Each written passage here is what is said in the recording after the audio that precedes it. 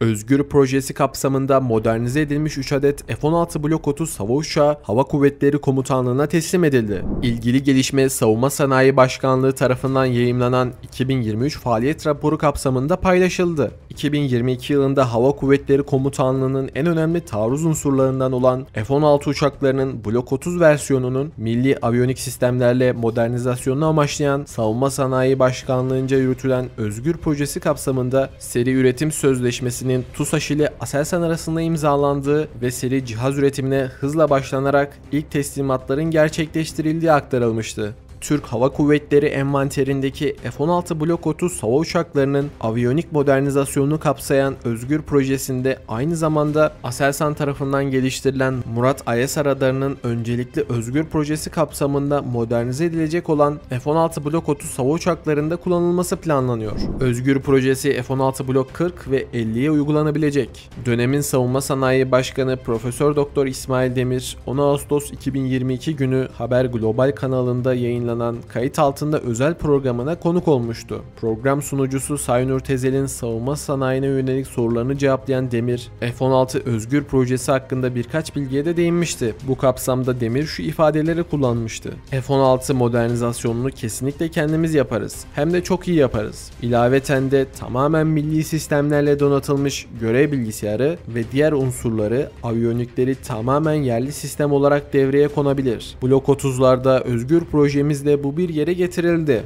Blok 40 ve Blok 50'lere de uygulanacak duruma geliyor. Haberin devamı için Defense Türknet'i ziyaret edebilir, gelişmelerden haberdar olmak için YouTube kanalımıza abone olabilirsiniz.